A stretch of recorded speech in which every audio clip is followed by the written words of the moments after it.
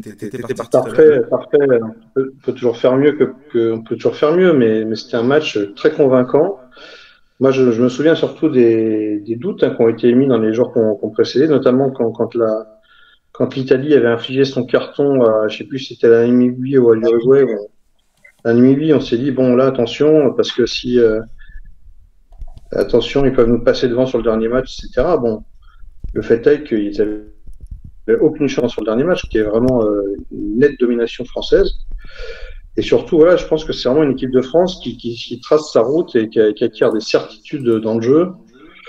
Voilà, qui, qui, voilà, qui s'est vraiment mis au niveau des toutes meilleures nations euh, mondiales et qui est vraiment euh, voilà, l'un des, clairement le favori, euh, au minimum l'un des favoris pour gagner cette Coupe du Monde. On le savait déjà avant la Coupe du Monde, mais là on en a la confirmation euh, match après match et celui-là était le premier, le premier rendez-vous où on attendait vraiment l'équipe de France au tournant après le match d'ouverture contre la Nouvelle-Zélande, qui était aussi très convaincant.